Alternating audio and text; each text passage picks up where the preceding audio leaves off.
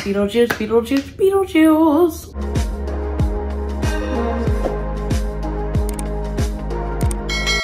Welcome to my channel. Today we are recreating another Halloween look. This time it is Beetlejuice. I posted some old pictures of this old Beetlejuice look that I did, I believe like two, three years ago on my Instagram. And I'm going to be recreating it. Hopefully I can do it a little bit better. I want to do it a little bit more glam style. We'll see. But we're gonna start off with my eyes first. I decided not to go with the black eyebrows this time. In the original pictures I had black eyebrows, but I think I'm just gonna stick with the green and the purple and the stripes, which is mainly Beetlejuice vibes. That's what we're gonna be going for today. So I'm gonna prime my eyes with the Anastasia Beverly Hills eyeshadow primer. I'm gonna zoom you guys in and we're gonna get started with this look. All right, so for the Beetlejuice look, I'm gonna be jumping into the Jeffree Star Bloodlust palette, and I'm mainly going to be using the shade Blood Queen and Deviant, this shade. And I'm gonna start off with Deviant, and I'm gonna put this in my crease, and just adding a bit of transition to this look. So for one eye, I'm gonna have it completely like a smoky eye. And then the other eye is going to be that kind of cut crease with the stripes. Pretty much as high as I wanna go with the purples on this eye. I don't really wanna go any lower than this because the thing with the purples is you don't want to intensify it too much because when you cut the crease with the purple, or not purple, with the your concealer or eye primer and then the black and white is that it can show through. We don't want that to happen. And then I'm gonna take Blood Queen and I'm gonna, oh, I already have creases. I literally just put my eyeshadow on, primer on, but I'm gonna pack this shade all over my lid. Make it super nice and bright, vibrant. This eyeshadow is so much better than the one that I used in my original look that I did. it's coming along. I also forgot to mention that I did do my foundation ahead of time because I figured not nothing's really special going on with my foundation so decided not to film it and just blending out the edges. So i would love to know what is y'all's favorite holiday do you like christmas halloween easter and then is there a favorite halloween costume that you've worn in the past because i don't think i have like a favorite Halloween costume that I've done. There's one year, I'm gonna basically repeat the same thing under my lower lash line, but there was one year that I did some crazy makeup, I should say, uh, to where it took me like three hours to do my makeup for Halloween. It was intense. Props to all the people that do like body painting and stuff on YouTube because that stuff is some hard stuff to do. Takes a lot of time. And then I'm gonna go into my other eye with the Blood Queen shade.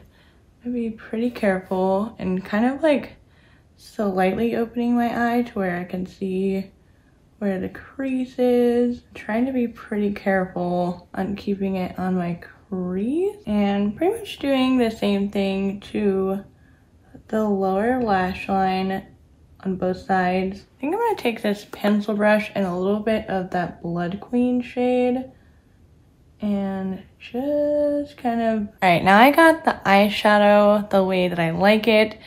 We're gonna first do the hard part. Whoa, whoa, whoa.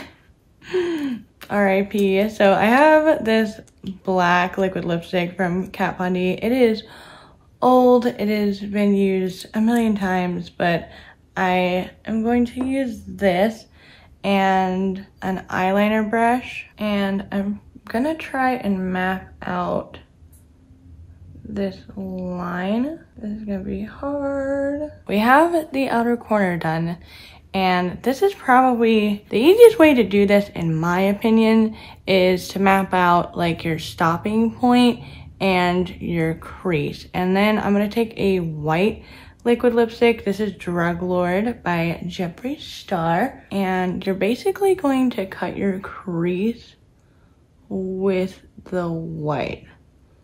I find this way to be the easiest way because once you go back and forth with the white and the black trying to do the stripes it can get really muddy and it can turn gray so it's easier just to do the white and then stripe the white with black. And then I'm gonna take the why am I blanking on the name of this palette? Uh cremated palette.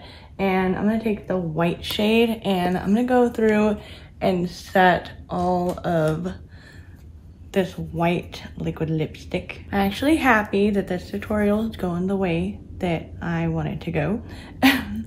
and so far we're doing okay. We're gonna hope I just didn't jinx myself, but I'm gonna take the black liner and outline the white and my lash line. Wish me luck. All right, we have it outlined and now it's time to add the stripes. Pretty much doing the same thing with angled brush, black liquid lipstick. And for this part, you wanna try and keep your eyes open. You don't wanna close them, especially if you have hooded eyes, because you don't want it to bleed at all. So I personally like having them angled to kind of match it up.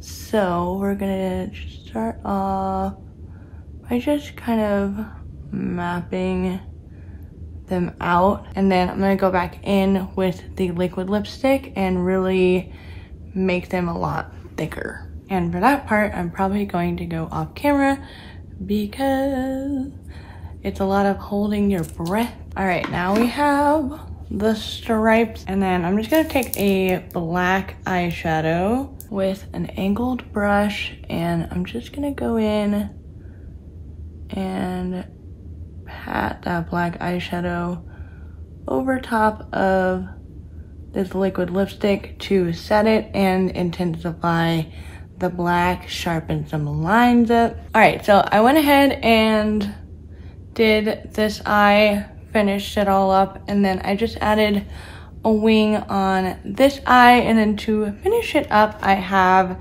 the Candy Apple Drip Highlighter from Jeffree Star. And I'm gonna put that right on the inner corners. Add more of that greenness. And I did get a little black eyeshadow under my eyes, but it'll be okay. I'm gonna zoom out a bit for this next part. So I just have a little makeup sponge and a pair of tweezers and I'm just gonna take off some parts like this and basically make little holes in it, give it some texture. All right, basically until it looks right like that. And then I'm gonna take the Jeffree Star liquid lipstick in Venus Flytrap, which is a very suitable Beetlejuice green I kind of spread that on my hand like this. Just do a little dab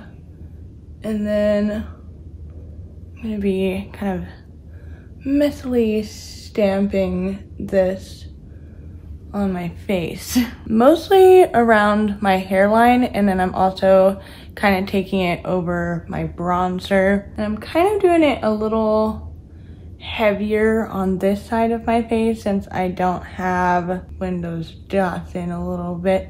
Since I don't have this on this side kind of want it heavier on the green. And then if you wanted to you could put a little bit around your mouth but this is good for me. And then I'm gonna take a little, little bit of Equality.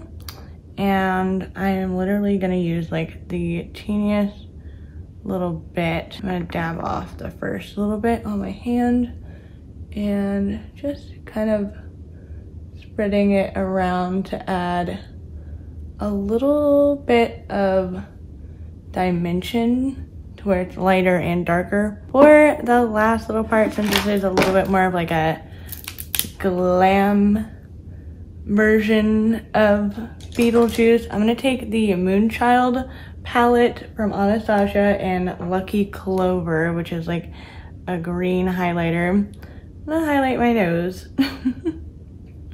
and a little bit on the tips of my cheekbones. Now I'm gonna do lashes, mascara, lipstick, and I'll show you guys the finished completed look. Beetlejuice, Beetlejuice, Beetlejuice. Mm -mm and this is the completed little Beetlejuice makeup. I think this is pretty wearable, but I just did the black liquid lipstick from Kat Von D on my lips. And I don't remember what the name of these eyelashes are, but they're a little bit more of that choppiness. But I really like how this turned out. I think I did this a lot better than how I did it two, three years ago. So I'm proud of myself in that way.